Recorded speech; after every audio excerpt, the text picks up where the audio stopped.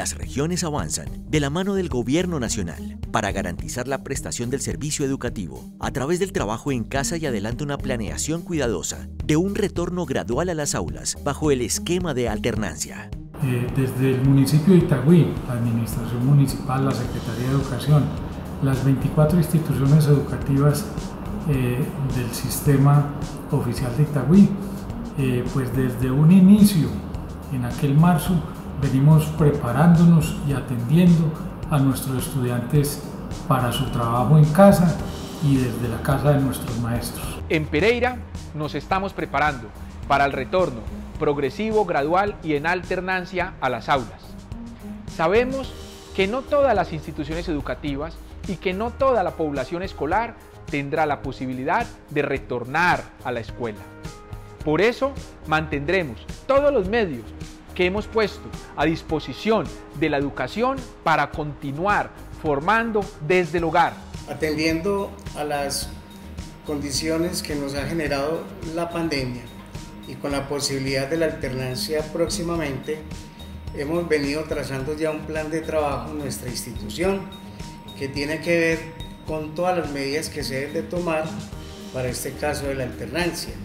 Nosotros estamos trabajando hoy por hoy con el 100% de nuestros muchachos y en la alternancia ya tenemos nosotros ubicado todo el tema de calendario, de medidas y demás.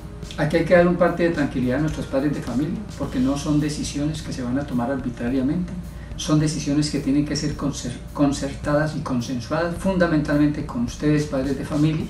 Estos lineamientos se nos convierten en una herramienta muy válida para que nosotros, como siempre lo hemos hecho, bajo la responsabilidad, objetividad, con la confianza que debemos también entregar a la comunidad educativa, podamos hacer una planeación y un alistamiento objetivo con nuestra realidad. Venimos recorriendo el camino para preparar a nuestras instituciones educativas eh, para trabajar en una alternancia.